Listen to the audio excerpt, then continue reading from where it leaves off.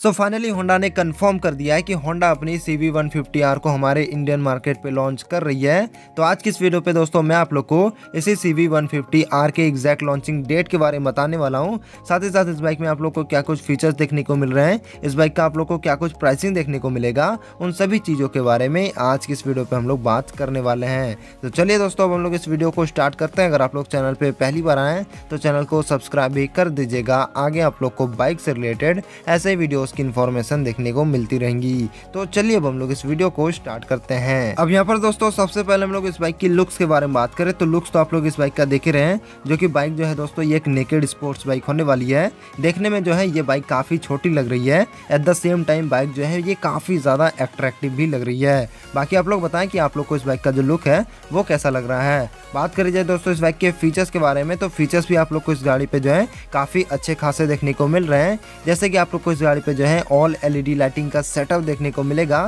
साथ ही साथ बाइक पे जो आप लोग को फुल्ली डिजिटल मीटर कंसोल दिया जा रहा है, जिसपे दोस्तों आप लोग को ब्लूटूथ कनेक्टिविटी वगैरह के फीचर्स देखने को नहीं मिलेंगे।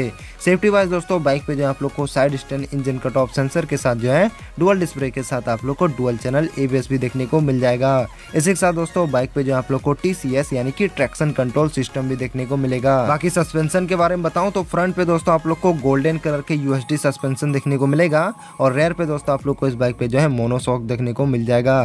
तो यहाँ पर दोस्तों फीचर्स भी काफ़ी तगड़े देखने को मिलेंगे इस बाइक पे।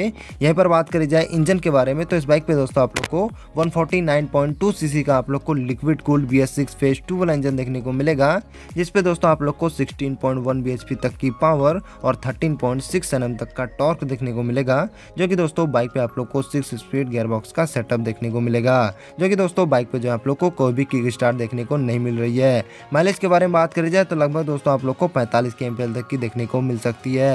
यहाँ पर बात करी जाए प्राइसिंग के बारे में तो इस बाइक का जो प्राइस है वो लगभग जो है डेढ़ लाख रुपए के आसपास में एक्सपेक्टेड बताया जा रहा है। यहीं पे मैं आप लोग को इस बाइक के लॉन्च के बारे में भी बताऊँ तो इस बाइक को दोस्तों होंडा कंपनी 2024 में हमारे इंडियन मार्केट पे लॉन्च करने वाली है। बाकी दोस्तों, ये बाइक अगर अपने इंडियन मार्केट पे आती है तो इस बाइक का जो सीधा टक्कर है, वो आप लोग को यमा की एम टी से ही देखने को मिलेगी। तो अब आप लोग बताओ भाई कि एम टी या फिर ये सी बी ये दोनों में से कौन सी बाइक ज़्यादा बेहतर है? नीचे कमेंट बॉक्स पे ज़रूर लिखना। तो इस वीडियो को भी दोस्तों, अब हम लोग फ़िलहाल एंड करते हैं। आई होप आप लोग को ये जो वीडियो है, ये आप लोग को पसंद आया होगा। अगर वीडियो पसंद आया तो वीडियो को लाइक कर दीजिएगा। चैनल पे अगर आप लोग पहली बार आए तो चैनल को सब्सक्राइब भी कर दीजिएगा।